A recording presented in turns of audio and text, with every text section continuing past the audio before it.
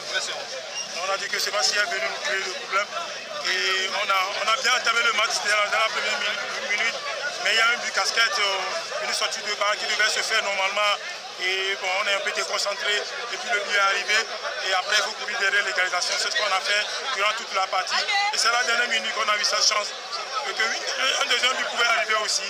Mais malheureusement, bon, tu as voulu que ce match soit sorti par un match. Mais quand même, on garde l'espoir que la suite nous donnera quelque chose de plus agréable encore plus que ça.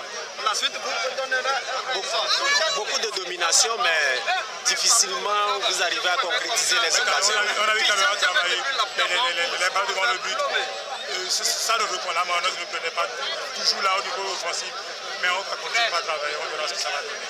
Bon courage.